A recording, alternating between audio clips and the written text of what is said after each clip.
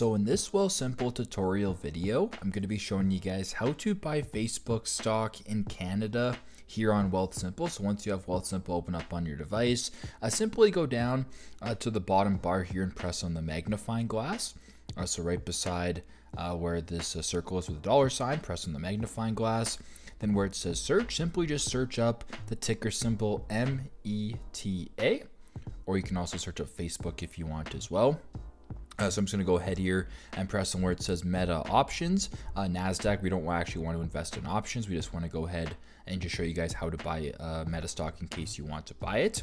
Uh, next thing you want to do, go down to the bottom and press on Buy. Then press on Stocks right here.